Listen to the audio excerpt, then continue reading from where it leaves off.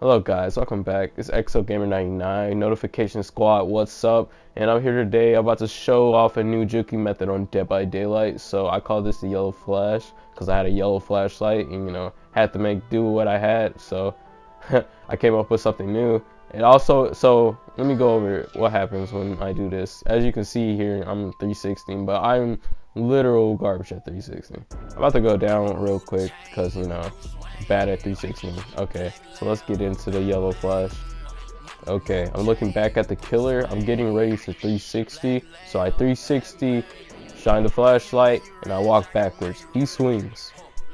The killer swings. I turn around.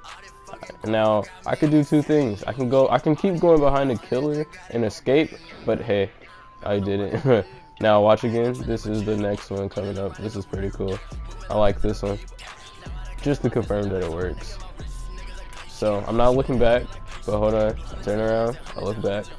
Okay, I'm swaying a little bit too. I'm moving my joystick, or if you're on a computer, mouse, or keyboard, or whatever you do, but uh, I'm moving like left and right. I'm swaying, I'm swaying.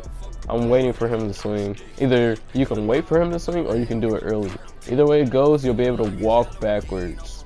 So watch this. I walk backwards in 360. See that? Walk backwards in 360. And he swings and missed and failed.